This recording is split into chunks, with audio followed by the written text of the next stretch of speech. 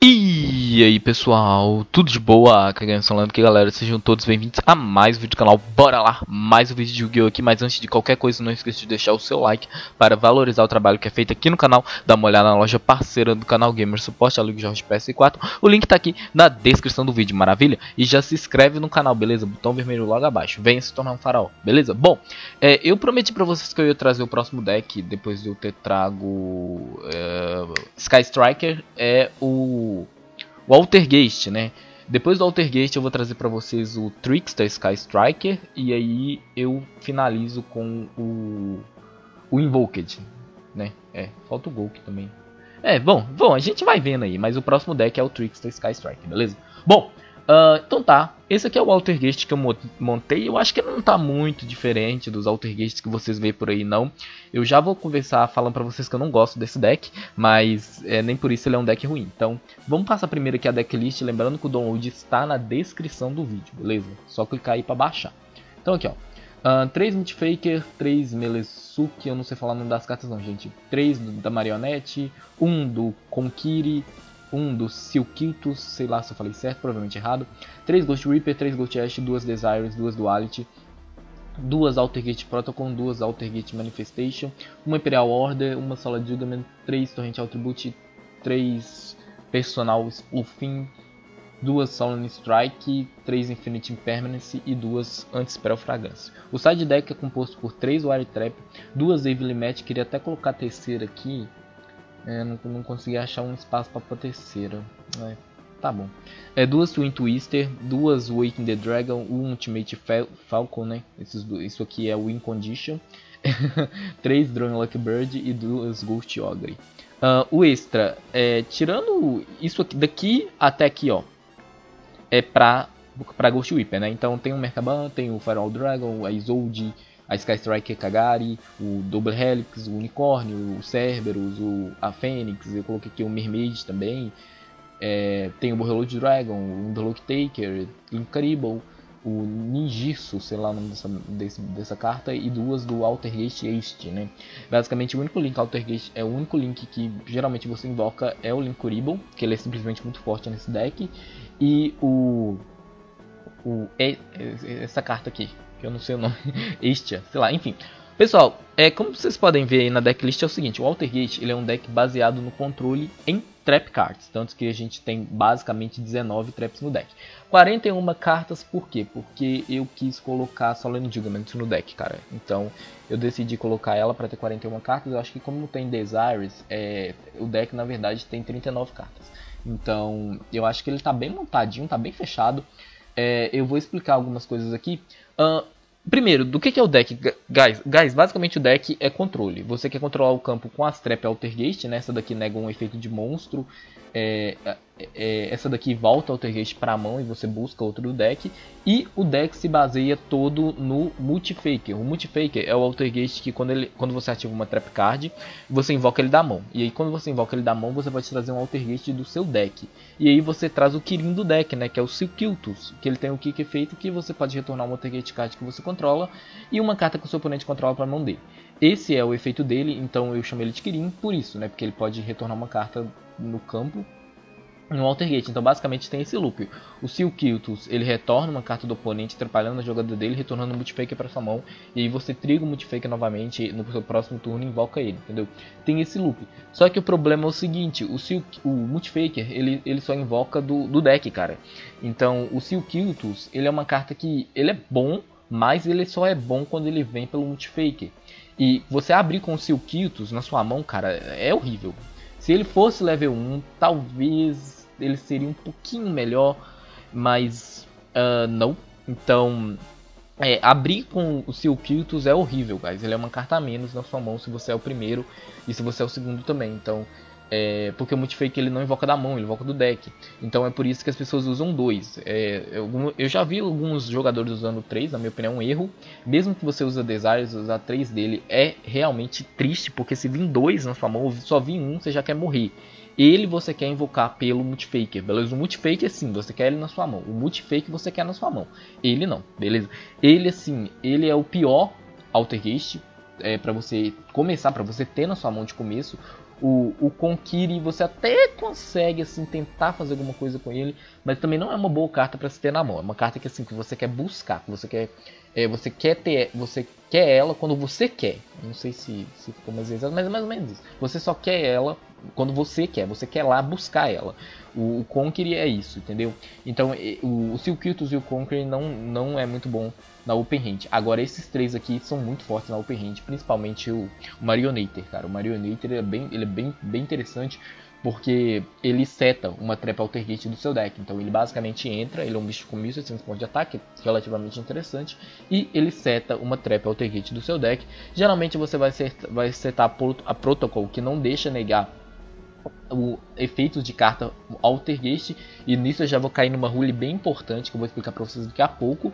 Mas basicamente é o seguinte: se o seu oponente ativar um monstro efeito, você manda o Outer Face o Altergeist card que você controla para o cemitério, negue a ativação e se fizer destrói.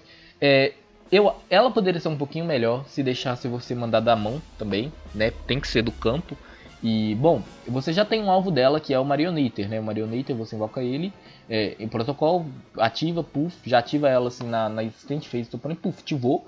E aí, se o seu oponente tentar fazer um monstro efeito, você usa ela e manda o Marionator pro cemitério, beleza? Então tem essa interação, o Marionator é uma carta muito forte. Sem falar que ele também renasce Altergeist do seu cemitério. É, isso é bem, bem interessante. Você pode usar ele para fazer as o link do Altergeist, por exemplo. Então ele é bem forte, cara. O Marionator é bem forte. Melezuki ele é basicamente assim a buscada do deck, é com ele que você busca os Altergate Monster. Por quê? Porque ele é level 1, então você pode, você entra, você dá normal dele, dá special dele, seja o que você quiser, você tributa ele, invoca o Licaribble, por exemplo, e ele busca um Altergeist, né? Ele tem esse efeito aqui, ó. Se essa carta é mandada para o do campo para o cemitério, você pode buscar um Altergeist do seu deck para sua mão. Geralmente você vai buscar o, o Multifaker, né? Então quando você não abre com o Multifaker, mas você abre com o Melozuki, você dá normal do Melozuki, tributa ele pro Licaribble e é, busca o multifaker para sua mão, beleza? É uma das, das jogadas do deck que eu considero até bem interessante. O Melezuko também tem um efeito quando ele pode atacar diretamente e quando ele inflige dano de batalha no seu oponente, você pode selecionar uma carta no campo e mandar para o cemitério. Isso é bem forte, dependendo do caso, né? É, o, o ruim é ele dar alvo, se ele não der esse alvo e ele ser bem forte, mas como ele dá alvo, já, já quebrou um pouquinho as pernas, mas ele é muito bom, cara. Ele é muito bom, ele é, ele é um buscador excelente. Afinal, ele sai de campo, você busca uma carta, então ele é muito forte. É, beleza. Bom, caindo na regra do Altergate Protocol, é o seguinte, pessoal. É, os seus Altergates, eles podem ser negados. Por exemplo, já, já, já vi acontecer várias vezes. Você tá com a protocolo no campo. Protocolo, tuf, tá ativada no campo. Aí você ativa ela, puf, aí triga o multifaker, né? Porque você vai ativar, você ativa ela geralmente para entregar o multifaker. Aí multifaker, puf, multifaker entra. Aí o multifaker vai resolver ele. Vai resolver ele, tuf, resolveu. Aí o seu oponente vai dar Infinite Impermanence, né? Aí seu oponente fala, puf, Infinite Impermanence. Aí ele dá alvo no multifaker, o, o multifaker vai ser negado, mas você ainda vai poder invocar um Altergeist do seu deck. Por quê? Porque o multifaker ele tá negado, mas o efeito dele resolve. É, é, é, é meio louco isso, mas é, ó. É porque ela tá escrito aqui, ó não podem ser negadas. Altergate cards ativadas no campo não podem ser negadas. Então, basicamente, o multiplica ele vai entrar e aí o seu oponente tentar dar alguma coisa nele, o Infinity Impermanence, por exemplo. É, não vou falar vela porque não pode dar vela no, no, seu turno, então Infinity Impermanence. E e se ela estiver no campo, o, o multifaker vai ser negado, a Infinity Permanence vai resolver, vai negar o multifaker, mas o multifaker não pode ser negado. Então o seu oponente joga uma Infinity Permanence no lixo, porque você vai sim poder trazer o Silkiltos. Cara, fica bem esperto em relação às unlings desse deck, beleza?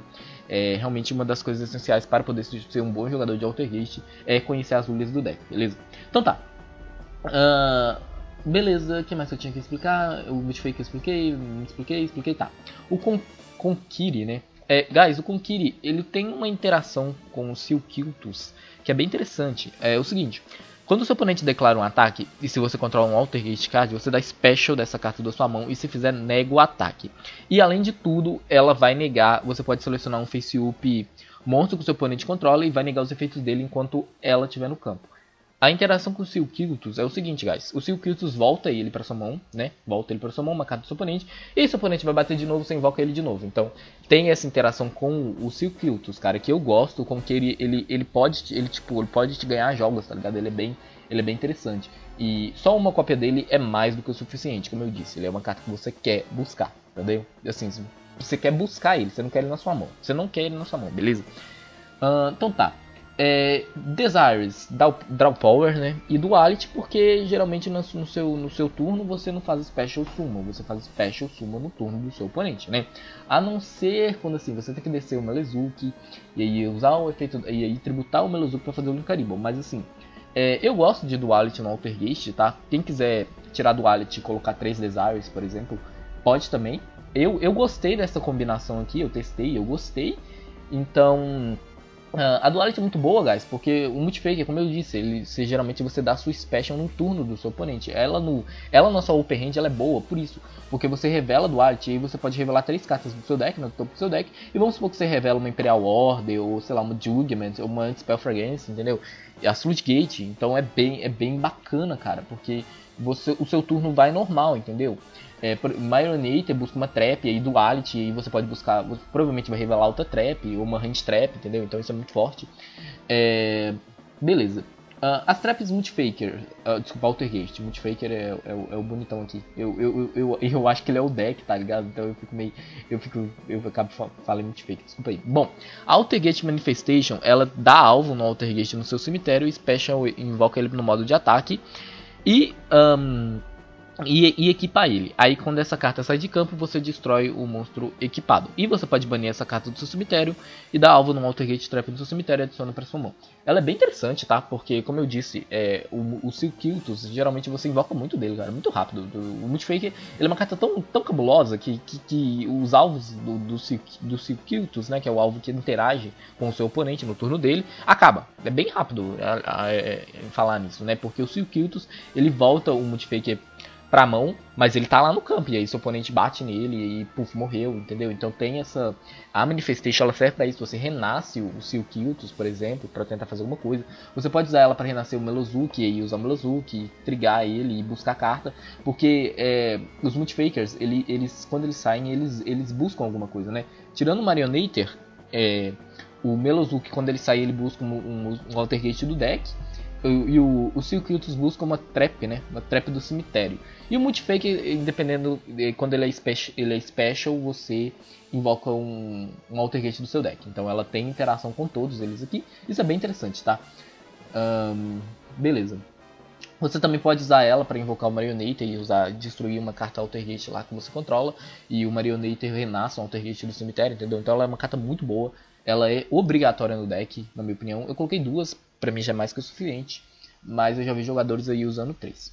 Imperial Order. Guys, o deck não usa carta mágica. Então essa carta aqui é muito poderosa versus o Sky Striker, cara. É, é, é muito forte, muito forte mesmo. Então é, ela tá aqui pra, pra, pra versus o Sky Striker, né? Tudo bem que na Mirror ela, ela é péssima, mas assim, na Mirror de Poseid você tira, entendeu? O Altergate ele é um deck que tá rodando as Floodgate, sim, beleza? Tem uma Floodgate que o Altergate roda, que é a Rivalry, mas eu não gosto muito, tá? Então eu coloquei aqui de Floodgate, eu coloquei Peral Order, duas Anti-Spell Fragrance. É, eu coloquei duas porque quando você é o segundo, você abrir de Anti-Spell Fragrance é, é uma bosta, eu não gosto. Então eu acho que duas é mais que o suficiente. A Imperial Order tá no lugar da terceira Anti-Spell Fragrance, guys, entendeu? Então eu vou até deixar mais bonitinho aqui desse jeito aqui. Digamente é simplesmente muito forte, né? Porque você pode evitar que você tome, sei lá, Red Reboot, que é uma carta completamente devastadora. É, Evelyn Match, então é, coisas que matam o deck, tá ligado? Eu gosto bastante de Digament. Então, realmente, a Attribute é muito forte. ela é muito boa, ela explode os campos e o Altergate nem sofre tanto assim. Então, é até porque se você explode o Melazuki, ele busca uma carta. Então, se você ativa ela, você pode, por exemplo, trigar o Multifaker. E, e trigar o Multifaker, aí ele entra, mas aí ele entra e morre, né? Ele vai entrar, ele vai morrer, mas o Multifaker vai trigar. Você traz o Melazuki, o Melazuki vai ser explodido pela torrente e você busca um, um Altergate, por exemplo. Tem essa interação? Tem. Um, a Spoffin ela é a buscadora do deck, você pode embaralhar um Altergate card na sua mão ou no campo, ou face up, face up no campo e adicionar um Altergate monstro do seu deck para sua mão. Ela não tem Altergate no nome, então ela não é setável pelo Marionator e ou buscável pelos, pelos Altergate. Eu não sei porquê, talvez se ela tivesse Altergate no nome ela ia ser muito absurda. É, bom, enfim. Uh, strike, é, Strike, né? E Infinite Impermanence é simplesmente a melhor trap do jogo. Então tem que ter ela no deck, guys. Ela é uma Veiler superior, porque você pode dar ela no seu turno também. E você ganha jogos com ela, tá ligado? Às vezes você negar uma Isolde do Golk, ou negar, sei lá, é, alguma carta do Trickster ou coisa assim, já, já pode te dar uma win condition, tá ligado? Então ela é muito forte. É, eu sei que. Acho que todos os decks estão usando 3 dela, cara. Acho que até o Golk mesmo já, já, já deu um jeito de colocar 3 dela. Infelizmente, ela é uma carta muito cara ainda, então não é todo mundo que tem acesso. Beleza? Então, tá. Uh, antes spell eu já disse, né? Floodgate versus o Sky Striker. Uh, tá, tá bom. É, deixa eu ver quanto tempo de vídeo rapidinho. 15 minutos, beleza. Uh, o que eu tinha pra falar aqui é em relação às anti-trap, né? Eu vou, eu vou falar das anti-trap e aí eu falo um pouquinho do side, beleza? Guys, é, eu tava com 3 Ghost Ogre e 3 Ghost Ash, mas eu decidi que a Reaper seria um pouco melhor. Por quê? Guys, o Altergate ele não quebra um campo pronto, cara. Se, se, se o gol que joga e faz aquele campo absurdo, o Altergate não quebra, tá? É, por quê? Porque você, você não tem uma carta que, meu Deus, puf, vai explodir o campo. Só, você tem torrente Attribute como exemplo, mas ela tem que resolver, você tem que esperar o seu oponente invocar monstro. Eu acho que isso aqui nem resolve contra o Golk, porque eles invocam, eu acho que é o Cerberus, né, que, que não deixa a carta ser destruída, por efeito. É, o Cerberus. Então, é, cara, ele não é muito bom, ele não é bom lutando contra o, o, um campo feito, né? Se o cara faz o campo, você basicamente perde, entendeu? Então, é, hand trap é obrigatório, gente. Você não pode deixar o cara chegar no campo, cara, não pode. E a Ghost Reaper, ela simplesmente acaba com campos, tá ligado? Ela impede campo ser feito. Você dá uma Ghost Reaper na Isolde versus no Golk. Puta que pariu, mano. O que, que o deck vai fazer, tá ligado? Você dá. você dá Ghost Reaper contra a, a Kagari, já quebra muito as pernas da Sky Striker, porque não vai ter carta para reciclar spell do Grave. Você pode dar, você dá Ghost Reaper versus Double Helix, o Spiral chora, entendeu? E tem outros alvos aqui que pode ser interessante também, o Merkaban contra o Invoked, então é, ela, é bem, ela é bem interessante, cara. Ghost Reaper eu, eu, gosto bastante. Ela só peca que ela não é boa na Mirror mas assim, ela pode ter seu valor na mirror, tá ligado? Você pode usar é, ela e revelar o Linkarible e banir o Linkarible do seu oponente, e ele perde a interação do, do, do Melezuki, por exemplo. Você pode usar ela para evitar contra o seu oponente invoque o Borreload Dragon, que é uma win condition contra o Altergeist. Você pode usar ela para evitar contra o seu oponente invoque o, a própria Estia, né? Que, que é um, um link bem interessante, porque o efeito dela é que quando ela vai pro cemitério, você pode adicionar um Altergate Card do seu deck para sua mão. Então ela busca tanto os monstros quanto as traps. Isso é bem interessante. Então a Ghost Whip, ela tem lá o seu valor na Mirror. Ela não é meu Deus, mas assim, ela é decente na Mirror, tá ligado?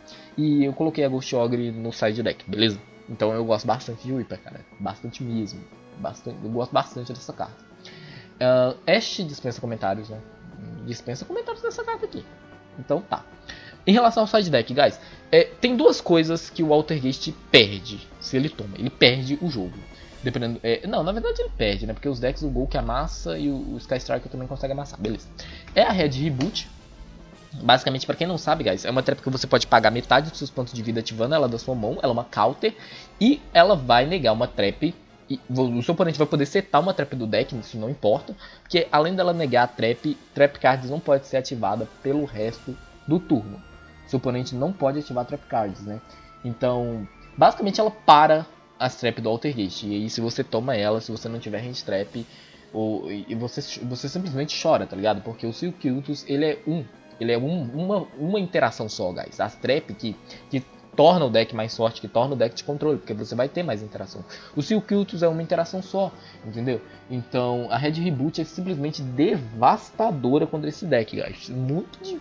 E uma coisa que eu percebi é, alguns altergates que eu vi o pessoal usando, é, galera, é que o pessoal usa Red Reboot no site de altergate. What the fuck? Você vai se travar, mano.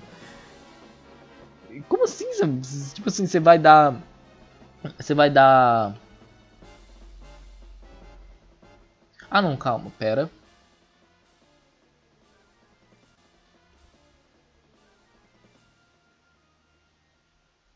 Ok. Ah tá, entendi. Uh, tá, a red reboot é assim, ó.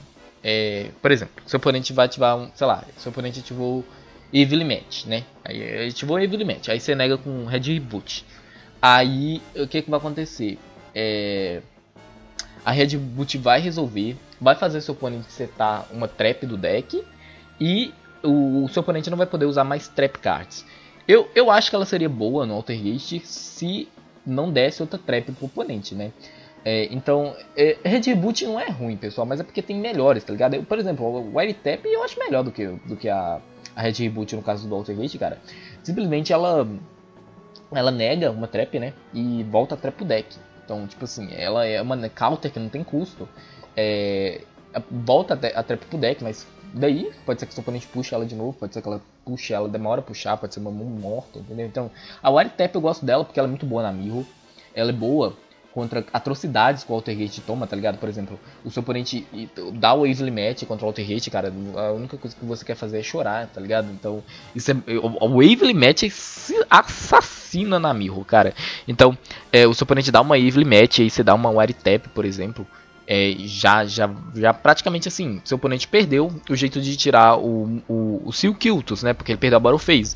E ele vai ter que lidar com essas trap, ele vai ter que lidar com o Silkiltus enchendo o saco dele, entendeu?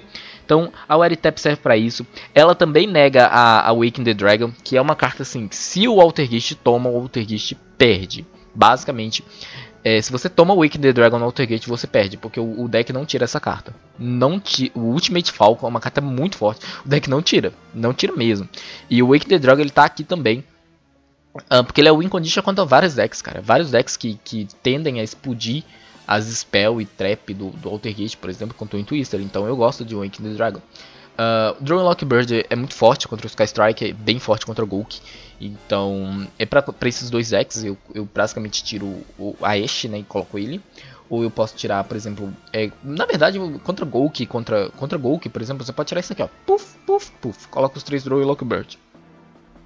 É uma boa. Pode colocar Ghost Ogre também, quem quiser. Beleza? É, então, é isso. Weekend Dragon, Ghost Ogre, beleza? Uh, então, guys, é isso. É, eu acho que é isso que eu tinha pra falar do Altergate. Ele é um deck bom. Ele não é um deck sinistro, de foda. Por exemplo, o melhor deck é o, o Sky Striker, na minha opinião. Depois dele vem o, o. É, eu acho que depois dele a gente pode colocar o Altergate. Eu não sei, guys. O Altergate eu, eu, eu fico um pouco, um pouco em cima do muro dele. Porque ele é um deck forte e fraco. Tá ligado? Não é um deck. Eu não sei como é que eu vou explicar. Mas é tipo assim.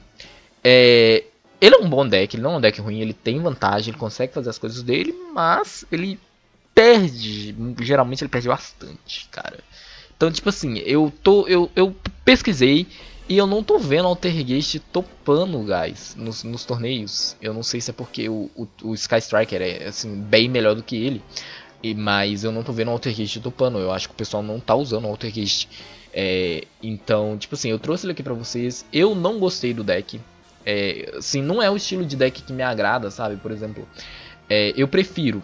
É, se for pra jogar com deck control, eu prefiro jogar com outra coisa, tá ligado? Não me mal, o Altergeist ele é excelente no que ele faz, que é o controle de campo.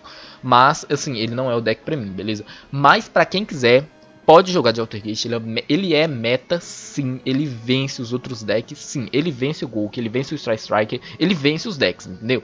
É, não, não sempre, mas assim, ele vence, tá ligado? Só que eu acho que tem decks melhores, mais divertidos para você jogar. Então, por exemplo, que, que decks melhores? Você pode jogar com Gulk de combo, Spiral mesmo, é... Você pode até jogar de Sky Striker, você pode jogar de... de... Não, Invoked não é melhor que o não. Enfim, você pode jogar do que, você quiser, né? Você é livre aí pra jogar do que, você quiser. O meu, o, o, meu objetivo é trazer o deck, analisar pra vocês, falar o que eu acho, dar minha opinião. E a minha opinião é essa, o deck é bom, mas não é um deck pra mim. Não é um deck que eu vou jogar, beleza? Então é isso. Uh, espero que vocês tenham gostado. Se você gostou, por favor, não esqueça de deixar o seu like para ajudar a divulgação do vídeo e do canal. As redes sociais do canal se encontram na descrição do vídeo. Se você é novo no canal e gostou do que viu no canal dos conteúdos, não se esqueça de se inscrever, beleza? Vem mais de Yu-Gi-Oh! por aí. Próximo deck, Trixa Trickster Sky Striker, né? Que é o deck que tá topando em todos os lugares que você vê, ele tá topando, entendeu? então, é isso, pessoal. Eu vou ficando por aqui. Ah, lembrando, se você tiver alguma sugestão para melhorar o Altergate, deixa aí nos comentários, vamos se ajudar, beleza, pessoal? Pra quem quiser jogar de Altergate, ok? Um, já adiantando, qual deck que o Caio tá jogando, guys? Guys, eu tô jogando com o meu deck de BA. Por incrível que pareça. Quer ver? Vou mostrar pra vocês aqui rapidinho. Esse deck é o deck que eu tô jogando atualmente. Meu deck de BA. Meu deck de BA, Layer of Darkness. é, pois é. Então é isso, pessoal. Vou ficando por aqui. Muito obrigado a todos e até a próxima.